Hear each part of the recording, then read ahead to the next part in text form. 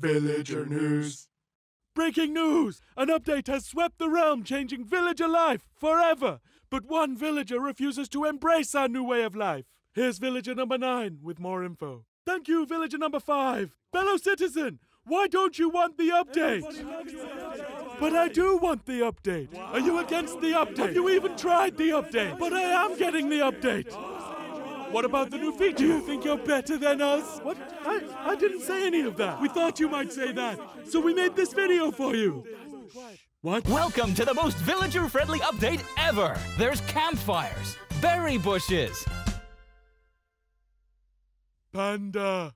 there's taiga villages, desert villages, Panda. tundra villages, savanna villages. Uh, Fox.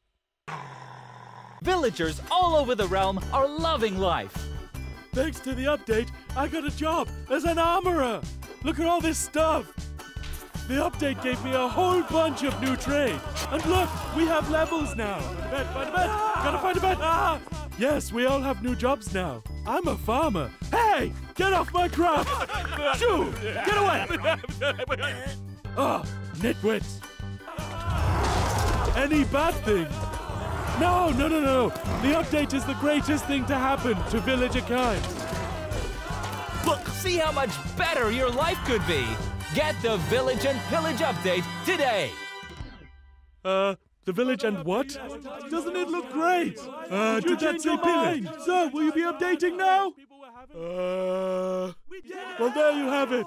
Another citizen satisfied with the update. Thank you, villager number nine. The village and pillage update is out now. Have you updated yet? Yes. No, not you. Them. Villager news.